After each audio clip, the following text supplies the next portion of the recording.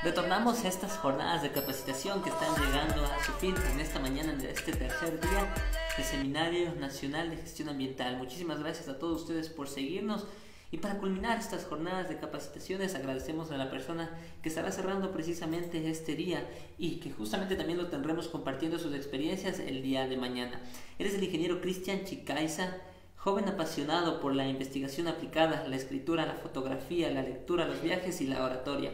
Es ingeniero en biotecnología ambiental. Cuenta con un máster en ciencias con especialidad en ingeniería ambiental por la Universidad de Tianjin, la cual está en el top 10 de las universidades de la República Popular de China. Además, cuenta con experiencia en docencia e investigación. Ha colaborado con el Environmental Defense Fund, ha participado en varios modelos de, de las Naciones Unidas como delegado, presidente y organizador ha publicado también trabajos académicos en áreas como eficiencia energética, gestión integral de residuos, cuantificación de gases de efecto invernadero, análisis de ciclos de vida, bioremediación, entre otros. Actualmente es coordinador académico del Grupo Internacional de Fomento a la Excelencia IFE y colabora con la Hunan Agriculture University con lecturas virtuales. Muchísimas gracias a Cristian que se conecta en esta tarde para cerrar con broche de oro este tercer día del seminario. Muchísimas gracias, Master Cristian, por haberse conectado. Somos todo oídos. Hola, muy buenas tardes. Eh, quiero agradecerles en primer lugar a las organizaciones, a la organización de Levens, a los amigos que se han ido sumando a esta importante capacitación. Eh, es un gusto para mí recibir esta invitación y presentarles eh, parte de la experiencia que hemos acumulado en la parte de análisis de ciclos de vida, enfocado como una herramienta hacia una economía eh, circular, que es un tema que está ahora en auge. Por ello, vamos a empezar con la siguiente presentación, por favor. Vamos para acá.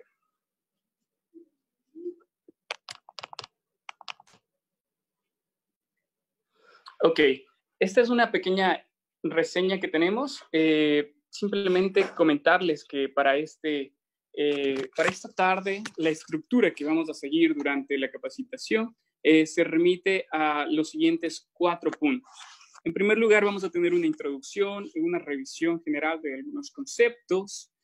Posteriormente, vamos a ver los casos de aplicación de análisis de ciclo de vida o life cycle assessment, como quieran llamarlo, en la economía circular. Y finalmente, bueno, y en la parte final tendremos ejemplos prácticos y un caso de estudio.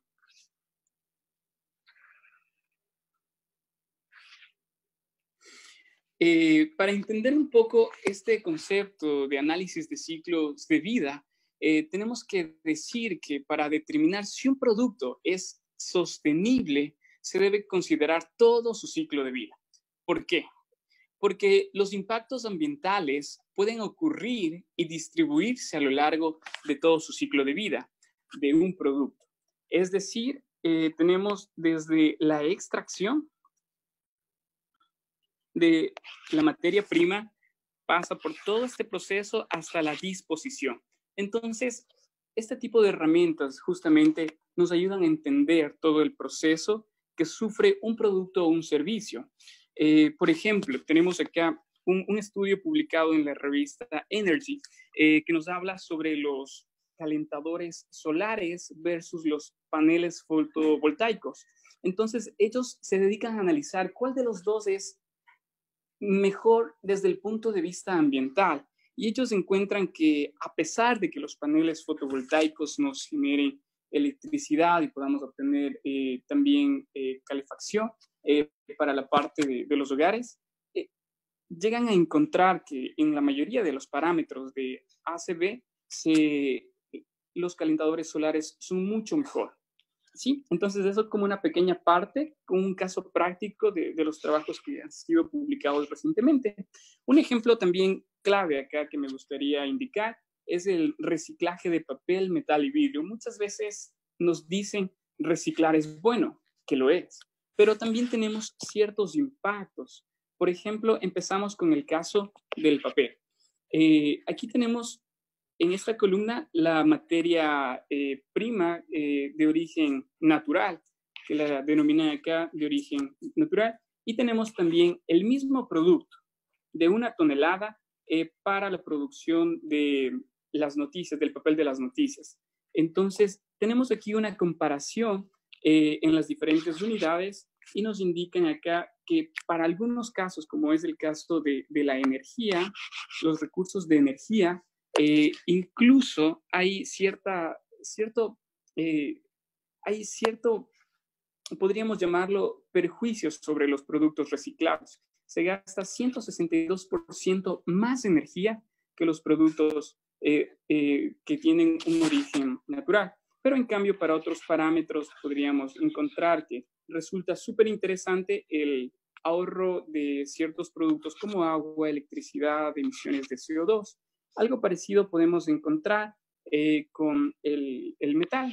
Entonces, considerando una, función, una unidad funcional de una tonelada, encontramos también casos muy parecidos. En este, eh, mayoritariamente, eh, los impactos, bueno, la comparación entre los dos es eh, mucho mejor para la parte reciclada y finalmente tenemos un ejemplo para el vidrio, ¿sí? Eso para tener una idea de, de que se deben considerar muchos factores, no solamente el proceso de fabricación, sino cuánta energía se utiliza, cuántas emisiones son generadas y también la disposición final.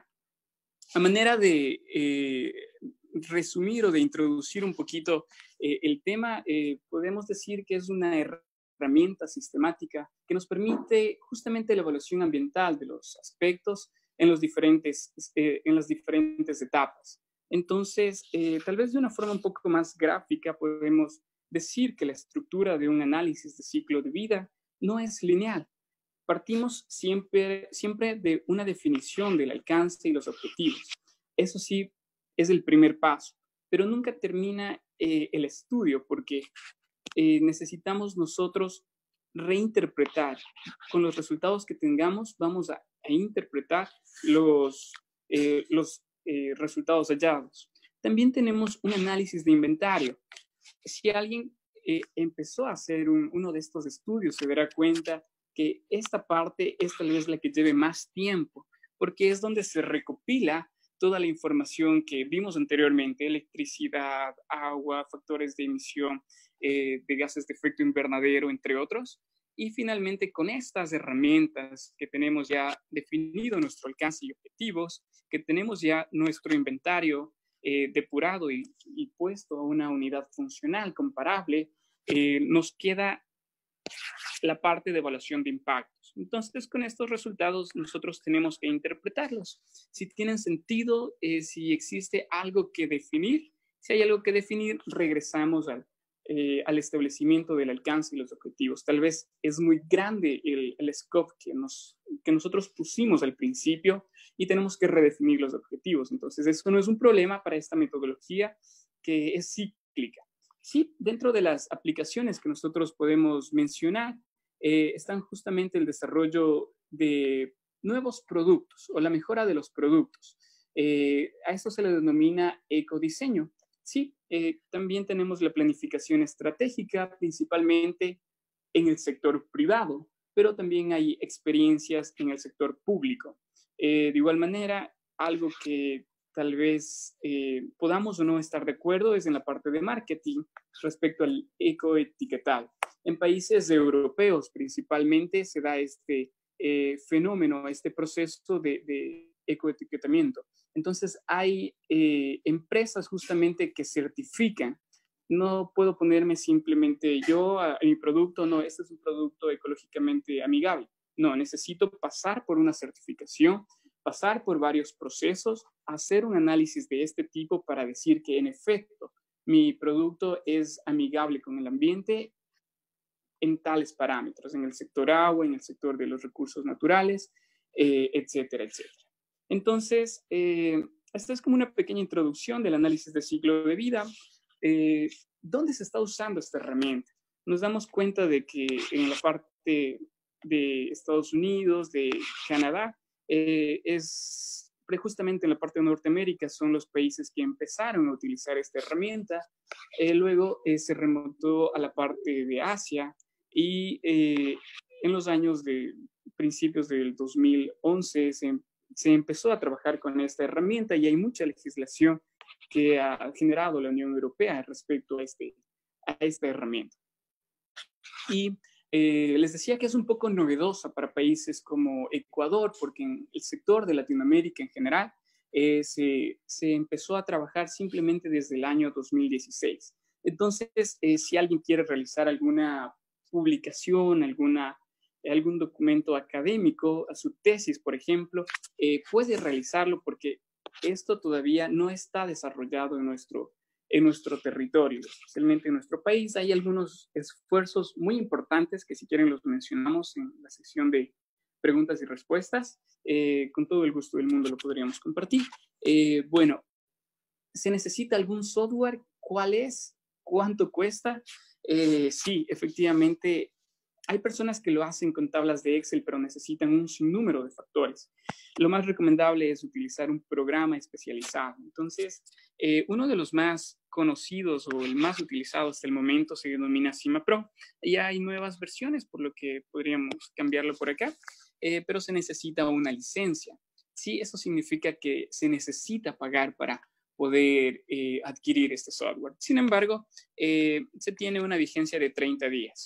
¿sí? Que uno puede descargarse desde el sitio oficial y puede utilizarlo, aprender eh, a manejar ciertas herramientas porque tiene una versión limitada. Pero si uno como universidad o como empresa compra la licencia, tiene eh, la opción de desarrollar eh, muchos estudios a, a lo largo de, de, de, su tiempo, ¿sí? De la durabilidad de la licencia. Otro de los programas que se utiliza mucho es la versión Gavi, entonces, este es eh, súper importante porque si bien es de pago también, hay una licencia educativa que ya les voy a indicar cómo se puede aplicar y ustedes pueden utilizarla. Se demora alrededor de una semana en que ellos les respondan y les den alguna... Eh, en un 99% de los casos les van a conceder la licencia educativa siempre y cuando ustedes sean estudiantes y logren demostrar con su carnet, con el certificado de la matrícula, entre otros documentos, eh, que ustedes justamente están en la etapa de preparación. Hay otros como el de CML, Easy Waste, Open LCA. Entonces, estas herramientas eh, también están disponibles. Vamos a hablar un poquito, bueno, por cuestión de la animación, creo que no vamos a poder ver, pero este, este software de acá, se, ustedes ya lo ven en, funcionando, operando a Cima Pro. Entonces tenemos, eh, por ejemplo, acá está nuestro producto. estamos ensamblando algún producto y aquí están las diferentes contribuciones de, de los componentes. ¿sí? Es un ejemplo súper rapidito. Esta es la licencia de las que les estaba hablando. Ustedes tienen que llenar este formulario que está en el sitio web de ellos y pueden descargarse eh, la licencia eh, educativa. Este es otro software que igual trabaja con Excel y de igual manera tiene la misma funcionalidad. Eh, este software es especializado en la parte de residuos sólidos. Entonces, si alguien quiere comparar diferentes tecnologías, eh, llámese rellenos sanitarios, pirólisis, digestión anaeróbica, entre otros, este software es especializado para eso. Entonces, eh, igual, eh, es de pago. Sin embargo, hay una opción que es bastante interesante y se está poniendo cada vez más de moda. Se denomina OpenLCA y es totalmente gratuito. Esos eh, pueden descargarse desde la página oficial de ellos. Y aquí tenemos un gráfico que nos muestra la tendencia de las revistas con buenos factores de impacto, que obviamente se, se, confirma lo que en un principio decíamos. Eh, están publicando muchos trabajos con, utilizando esta herramienta de Cima Pro, eh, luego Gabi y finalmente tenemos otras opciones. Eh, para entrar en materia de los conceptos de economía circular, me gustaría mencionar que actualmente nos basamos en un modelo unidireccional de la producción y el consumo. Estos han dominado durante los últimos años en nuestro planeta. Entonces, este, este tipo de modelos unidireccionales de producción y de consumo eh, llegan a desgastar nuestros recursos, porque los productos se fabrican a partir de materias primas en los que los procesos de producción, de venta, de utilización, eh, no, no, se llegan a concretar en un ciclo, simplemente se desechan. Pueden ser incinerados, pueden ser eh, dispuestos en rellenos sanitarios o en el peor de los casos pueden, estar, pueden parar en botaderos a cielo abierto, que es mucho, que es lo que pasa normalmente en, algunas provincias, de, en algunas ciudades de, de, nuestro país, desafortunadamente, realidad que debe cambiar.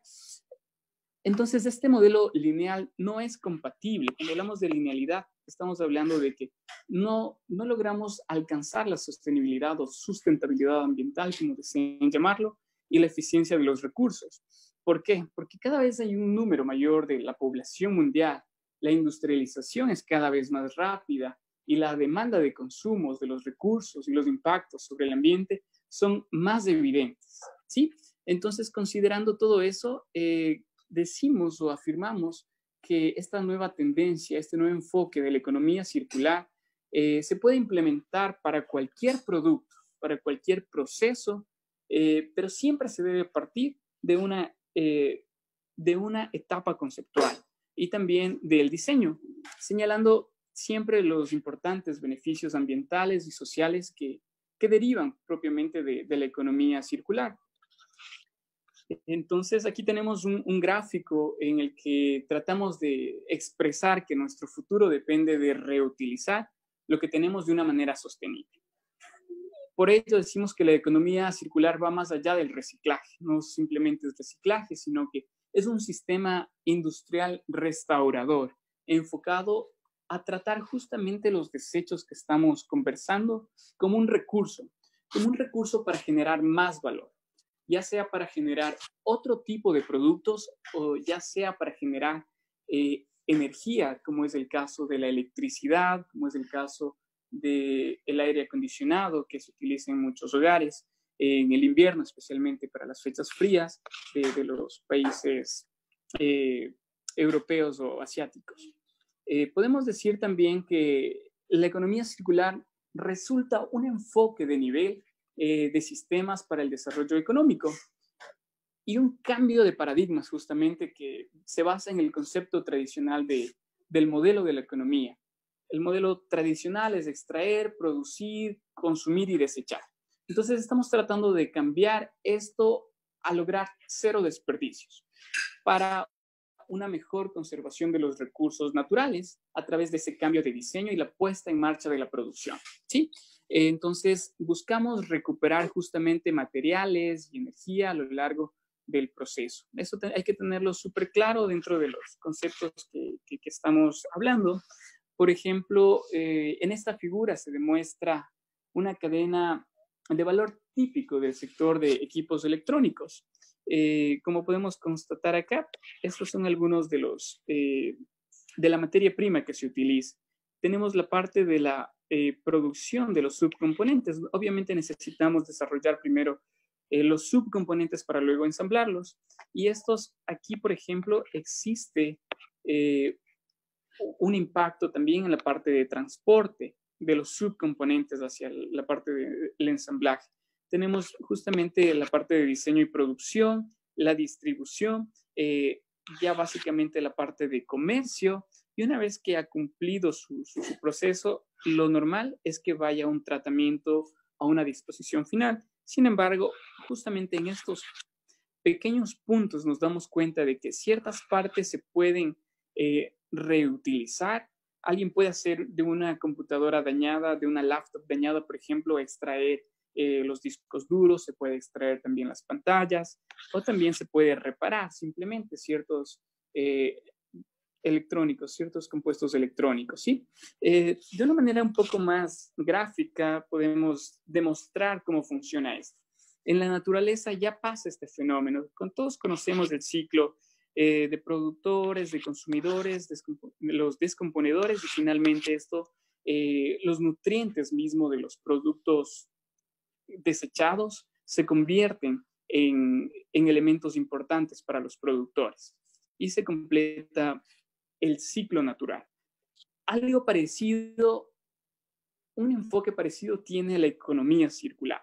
Luego de la producción tenemos el uso, pero tenemos en esta parte justamente en la recuperación de estos elementos, ya sea la totalidad de ellos o gran parte, eh, que se necesita dar mayor, prioridad para poder eh, establecer justamente el ciclo, el modelo eh, cíclico y, y detener de una vez el modelo lineal. Por ejemplo, me gustaría mostrarles este gráfico que aparentemente es un poco complejo, pero en palabras muy sencillas podemos eh, decir que partimos de la fermentación en fase oscura o dark fermentation eh, y algunos de los productos, algunos de los residuos que, que, se generan ahí de la parte de la biomasa pueden ser utilizados como materia prima directamente en las industrias. Pero también nosotros podemos, a través de gases separadores, eh, utilizar el hidrógeno, que es una de las energías nuevas, eh, que, está tomando cada vez eh, más importancia. Y estos gases, separarlos. Entonces, estos gases justamente se puede utilizar como una fuente de energía. Ahora ya hay vehículos que se mueven con energía basada en hidrógeno. Entonces, pero también tenemos el CO2. Este CO2 se lo puede aprovechar eh, en otros procesos, por ejemplo, la fermentación lumínica y también la fermentación eh, de metano. ¿sí? Eh, también recordamos que, que, de aquí, obviamente, el metano es un producto muy importante que se puede utilizar en las cocinas o a escala industrial también. Pero tenemos aquí un producto que para muchos es un problema, el dióxido de carbono. Pero para quienes han trabajado un poco con el tema de algas, microalgas, podrán darse cuenta de que justamente este desperdicio para la mayoría de industrias llega a ser un nutriente fundamental para eh, el mundo de las algas, ¿sí? Eh, ya que utilizan este, este sustrato para generar justamente oxígeno. Es algo muy parecido, el equivalente a lo que las plantas realizan, pero a una escala mucho más pequeña, eh, entre comillas, eh, pero en volúmenes, eh, a escala más pequeña me refiero por la escala microscópica, pero ya los volúmenes de, de, cantidad de oxígeno generado pueden ser iguales, incluso al 50% de, del oxígeno disponible en el planeta, ¿sí? por la gran cantidad de los océanos, de ríos que existen.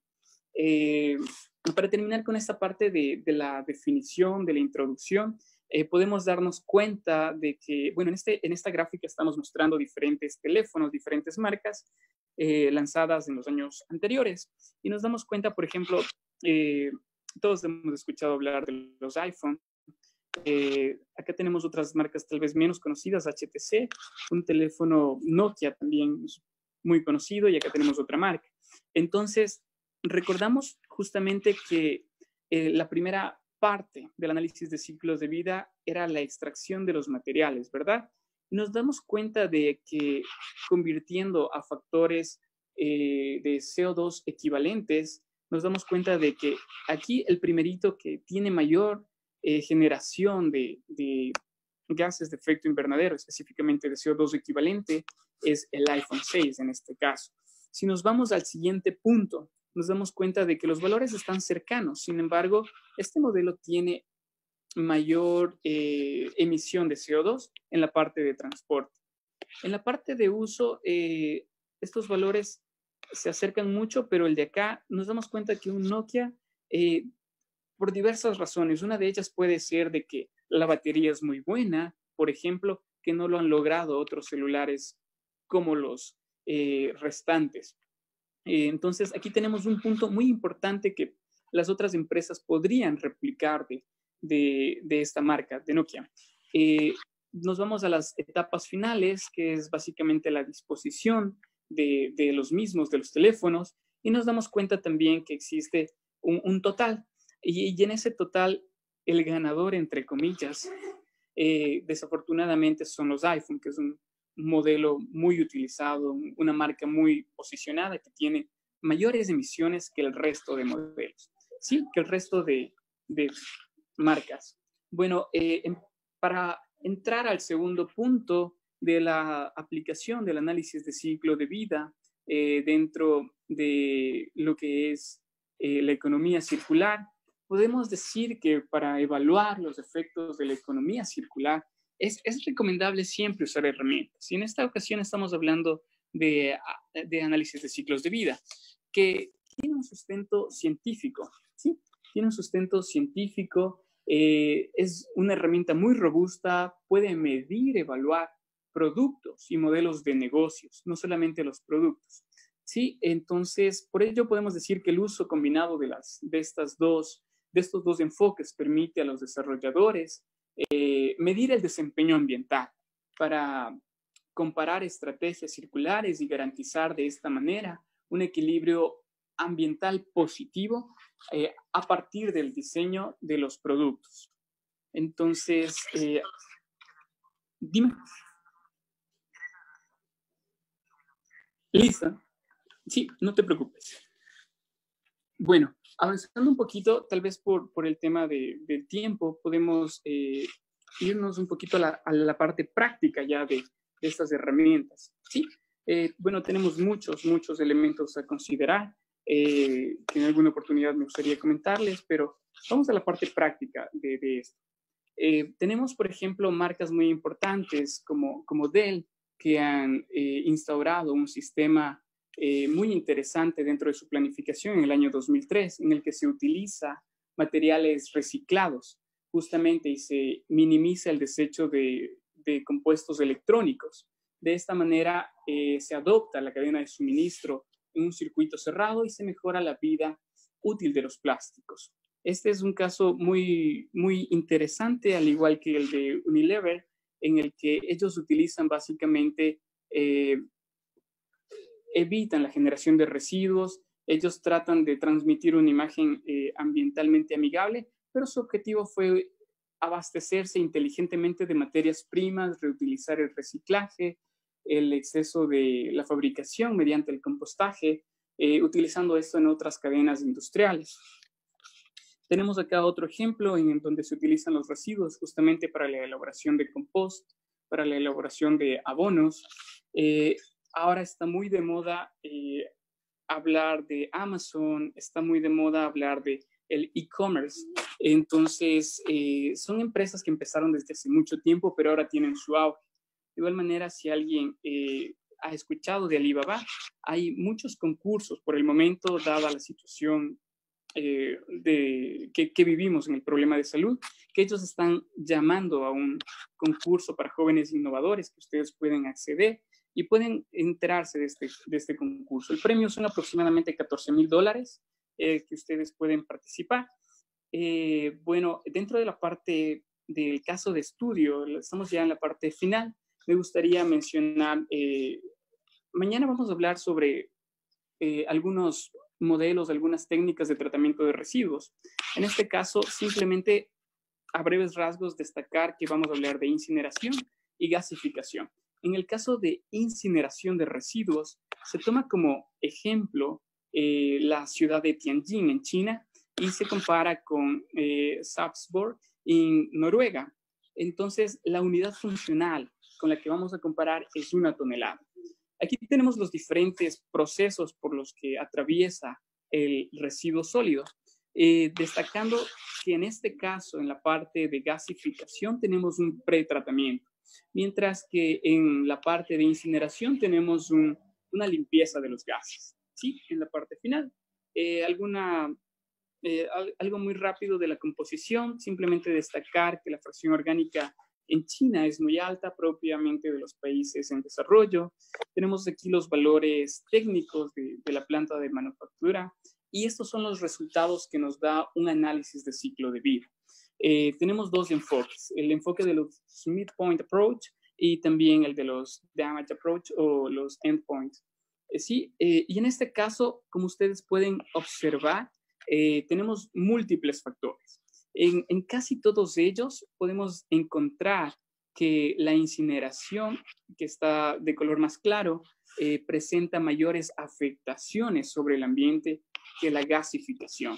Entonces, eh, desde el otro punto de vista, que es un poco más fácil de entender, tenemos los factores de eh, la salud humana, la calidad del ecosistema, alguien que le interesa el cambio climático, el uso de los recursos, y en todos ellos se demuestra que la gasificación tiene menores eh, afectaciones, justamente. Entonces es súper importante utilizar nuevas tecnologías, como se está demostrando.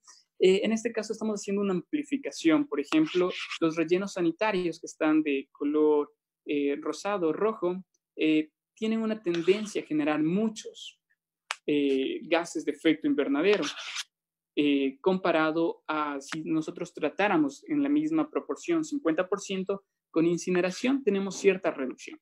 Pero si los tratamos con gasificación, tenemos aún menores emisiones de gases de efecto invernadero.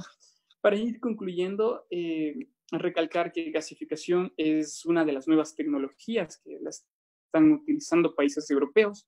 Eh, sin embargo, algo muy importante, se requiere un pretratamiento. Eh, algo súper, súper fundamental es que en nuestros países latinoamericanos eh, todavía estamos viendo a los residuos como, como algo que no tiene ningún valor. Sin embargo, si nosotros le damos la importancia incorporamos justamente en las cadenas de producción y los eh, reutilizamos por lo menos, eh, podremos obtener productos sumamente interesantes.